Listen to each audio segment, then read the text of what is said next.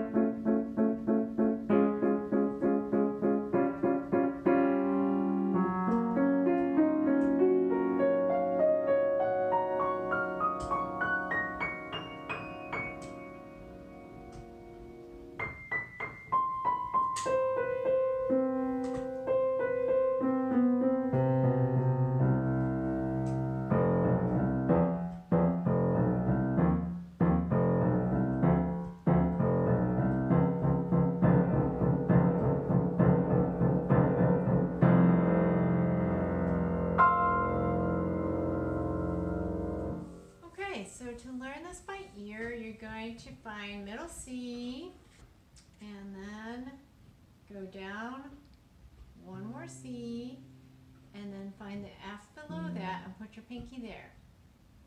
And then your right hand, you have middle C again as your guide note, where you'll find the F directly below that and you'll put fingers four and three there. So the pattern is first you have a second in the right hand, and then this is still a second, but now you have a flat. The E becomes flat, so you play the black key. Now it becomes a third. This is still a third, but now you have the third becomes, the D becomes flat. The left hand stays the same the entire time. So you have one, two, three, one, two,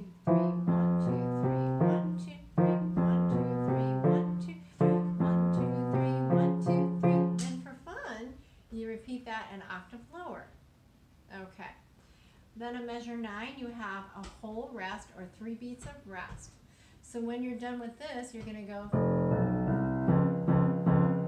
this same two keys, you're gonna play two octaves higher, not one, but two. Then your left hand comes and plays this note right next to C, which is B, but B flat.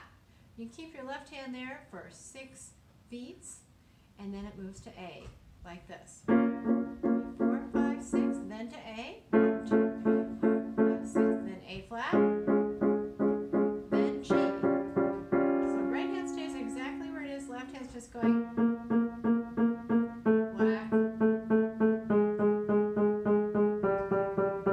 Okay? Then you're here, and your right hand stays here. Don't move it. On the second page, your left hand goes to the black key right here, and finger four, and the black key right here, and finger two. And they're going to play this pattern. And then you're going to do an octave higher, and one more, and one more. Can you see a fermata there? Then you're going to step down to the C right next to it, and your left hand's going to find the C an octave below, and you're just going to go